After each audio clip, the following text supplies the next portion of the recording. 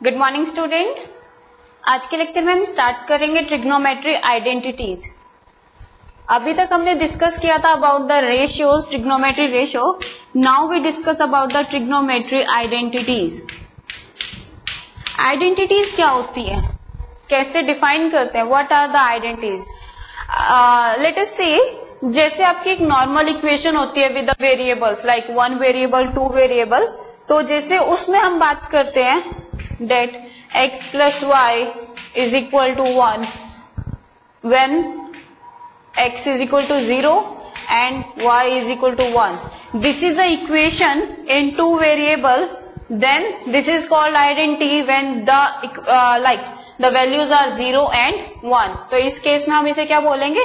Identity that means किसी भी equation को जब वो सेटिस्फाई करे वो हर पॉइंट पे जब वो सेटिस्फाई होने लग जाए या उसके लिए एक पर्टिकुलर पॉइंट डिसाइड हो जाए कि वो उस पॉइंट पे सेटिस्फाई कर रहा है then this equation is called identity तो वो आइडेंटिटी में ट्रांसफॉर्म हो जाती है.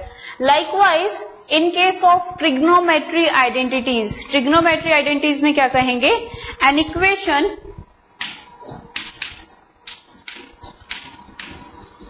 an equation involving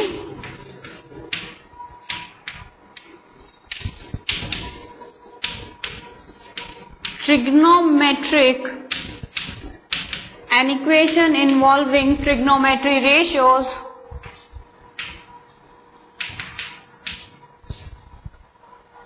of an angle. Angle कौन सा लेते हैं हम हमेशा? Acute angle is called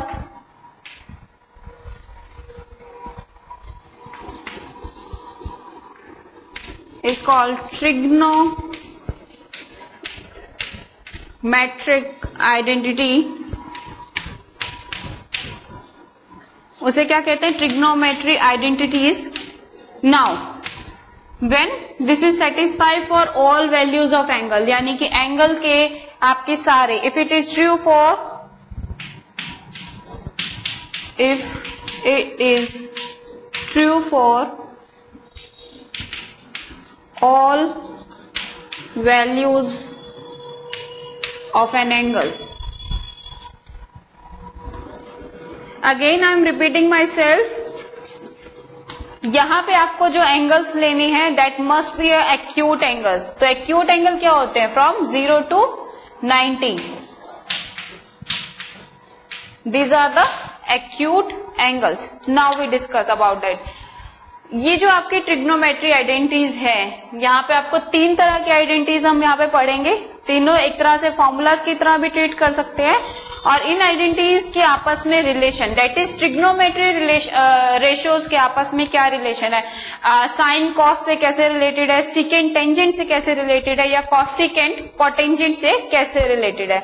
Now let us check about this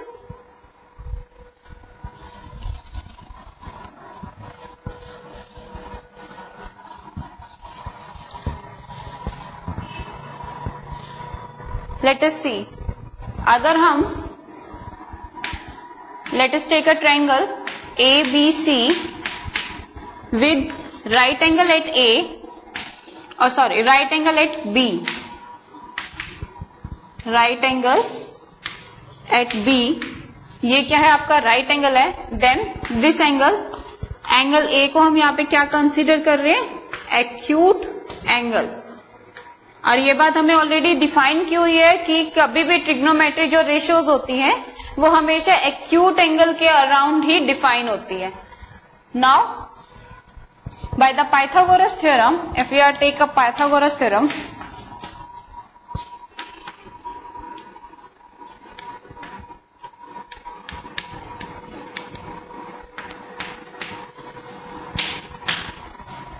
this AC square is equal to AB square plus BC square. Let us take this as equation one.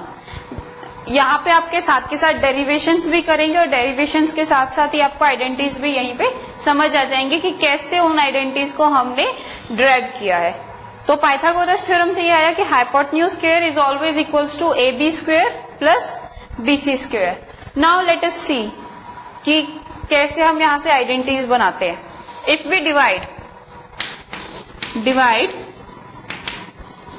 divide equation 1 by AC अगर equation one को हम A C square से अगर हम इसे divide करें then what we get देखिए A C square is equal to A B square plus B C square divide this by A C square this by A C square and again this is by AC square. Now, both of our cancel out. We get 1 AB over AC whole square ऐसे लिख सकते हैं इसको plus BC over AC whole square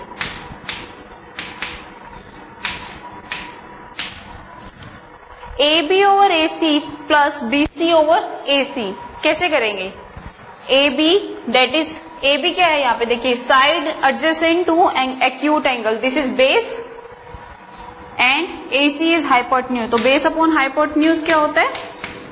Cos square A plus B C that is ये जो side है that is opposite to acute angle ये opposite है एक्यूट एंगल के, then perpendicular AC is hypotenuse perpendicular or hypotenuse is always a sine square A this is equals to what 1 तो हमारी आइडेंटिटी यहाँ से क्या बन जाती है cos square A plus sine square A is equal to one for all value of A lie between zero and ninety और ये दोनों ही डिफाइंड है, ज़ीरो और 90 के ऊपर भी ये क्या है? डिफाइंड है। नाउ ये तो थी आपकी first identity cos square A plus sine square A is equal to one now let us take the second identity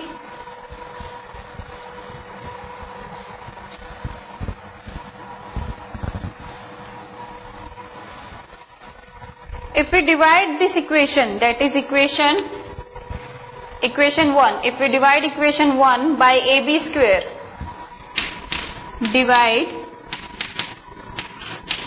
equation 1 by ab square then क्या मिलेगा यहाँ से ac square by ab square ab divided by A B square plus B C square divided by A B square अगर हम इन्हें इस तरह से डिवाइड करते हैं then what we get A C और A B A C this is hypotenuse and A B the side adjusting to acute angle that is base hypotenuse over base.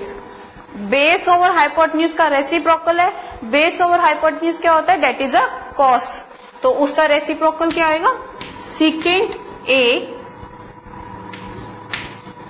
Square और we can say secant square A next this is cancel out one plus BC over AB that is this BC is equal to perpendicular side opposite to adjacent angle and इसके सामने that is hypotenuse uh, sorry AB क्या है ये base so perpendicular over base perpendicular over base क्या होता है tangent A और इसका क्या हो जाएगा यहाँ पे स्क्वेयर इसे कैसे लिख सकते हैं ten square A now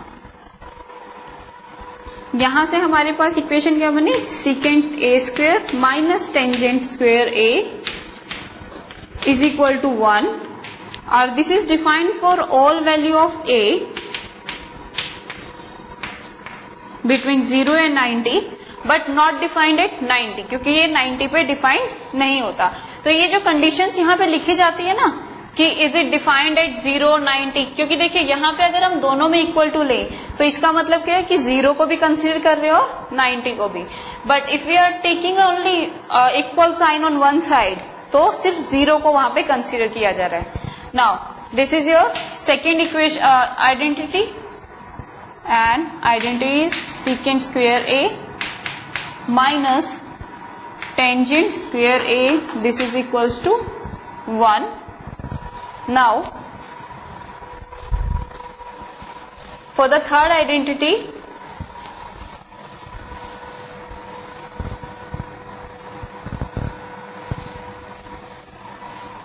if we divide equation 1 by BC that is by the third side BC square अगर इसे BC square से डिवाइड करते हैं then sorry uh, this one AC square divided by BC square is equal to AB square divided by BC square plus BC square divided by BC square. This one cancel out. Now AC over BC that is hypotenuse over perpendicular. Hypotenuse over perpendicular को क्या कहते हैं? Cosecant A whole square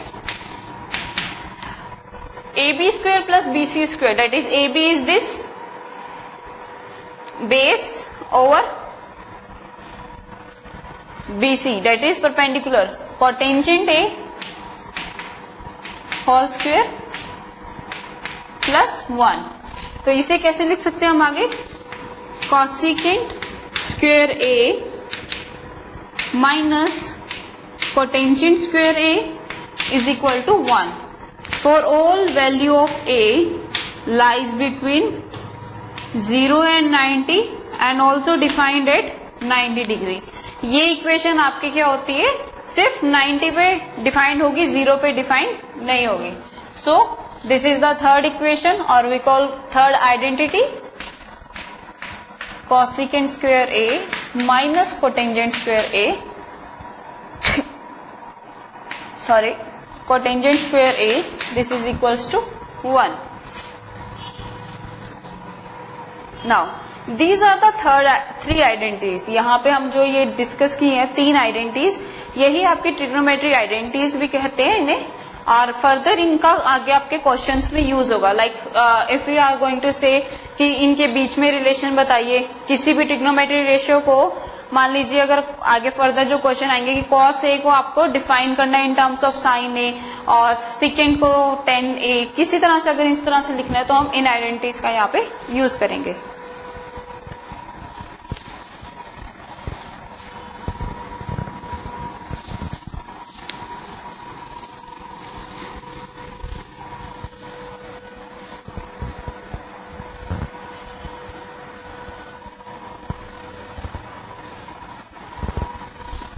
Now let is see the first question आपका first question है express ratio cos A tangent A secant A in terms of sine A यानी कि cos A secant A and tangent A इन सबको आपको किस term में define करना है? In terms of sine A so let is see cos A को अगर हमें डिफाइन करना है, कैसे करेंगे? आपकी जो first identity in terms of sine है यानी कि इन सारों की वैल्यूज़ कैसे आनी चाहिए? In terms of sine A इसके अलावा आपकी कोई और टर्म यूज़ नहीं होनी चाहिए वहाँ पे। सो so, देखिए फ़र्स्ट आइडेंटिटी क्या कहते हैं? Cos square A plus sine square A is equal to one when cos square A plus sine square A is equal to one तो हम कॉस स्क्वेयर ए की वैल्यू यहाँ से निकाल सकते हैं? देखिए कैसे निकालेंगे। कॉस स्क्वेयर ए की वैल्यू क्या आई? One minus sine square A right cos A simple cos A की वैल्यू क्या जाती है? Under root that is of plus minus one minus sine square A now this is a अब यहाँ पे plus और माइनस दोनों है बट हम इस केस में सिर्फ़ प्लस साइन लेके कंसीडर करते हैं। ऐसा क्यों? क्योंकि ये वैल्यूज़ कभी भी नेगेटिव में नहीं होती। ट्रिग्नोमेट्री आइडेंटिटीज या ट्रिग्नोमेट्री जो रेशियोज होती है, इनकी वैल्यू पॉजिटिव चलती है। So one minus sine square A यहाँ पे देखिए, अब वन माइनस साइन स्क्वेयर हमने लिख दिया, इसे कॉस ए को तो in terms of sine A first complete next is secant A secant A को कैसे लिखेंगे? Let us see secant A secant A होता है वन बाय कॉस ए तो इसे इजीली लिख सकते हैं. One by under root one minus sine square A right and the next is tangent A तो टेंजेंट ए को कैसे लिखेंगे? Sine A over cos A sine A as it is क्योंकि हमें साइन ए की टर्म में ही लिखना है। नेक्स्ट इज़ कॉस ए तो कॉस ए की वैल्यू क्या है यहाँ से? Under root one minus sine square A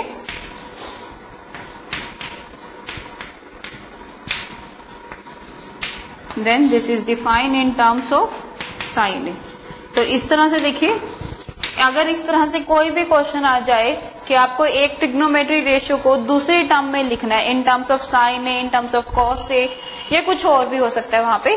तो आप इजीली इन आइडेंटिटी को यूज़ करके वहाँ से अपने रिलेशन में, बीच में रिलेशन एस्टेब्लिश कर सकते हैं। The next question is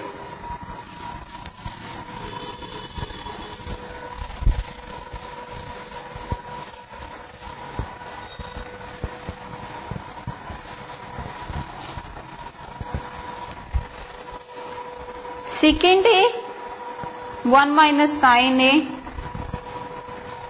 prove that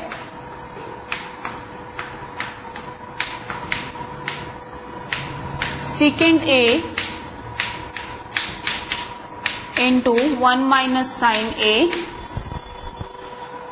साथ में क्या है secant a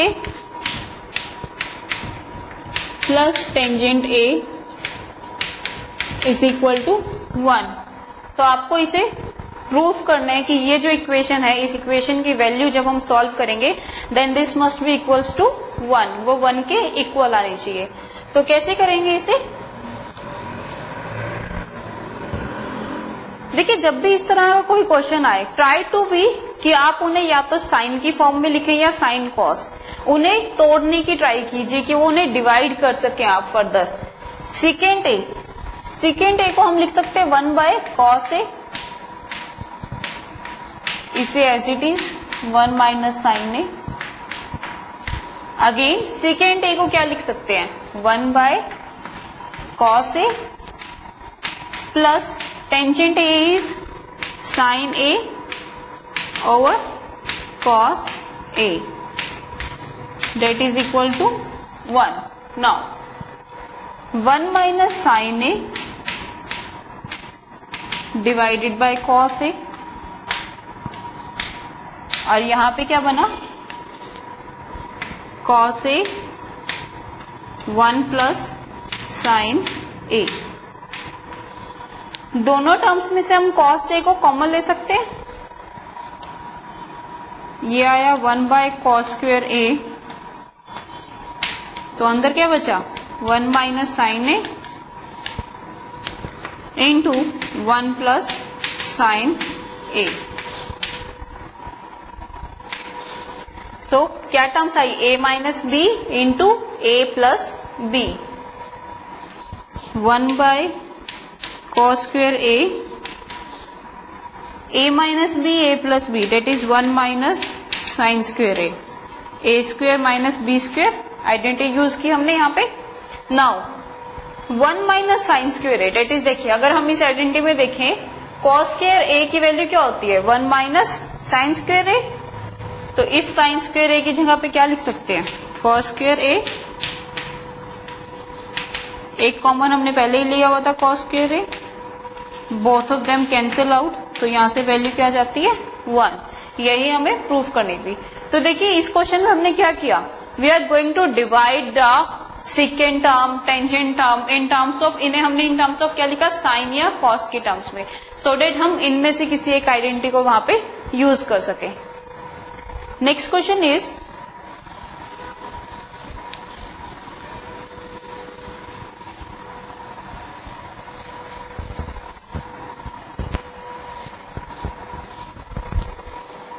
cotangent A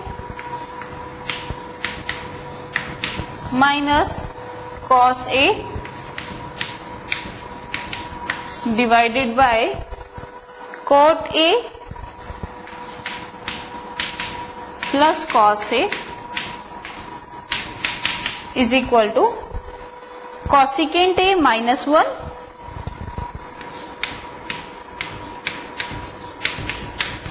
divided by cosecant A plus 1. इस तरह के अगर आपके टर्म है, अब आपको इन दोनों को इक्वल प्रूफ करना है, या फिर क्या कर सकते हैं हम? राइट हैंड साइड से स्टार्ट करें और लेफ़्ट हैंड साइड के इक्वल प्रूफ कर दें।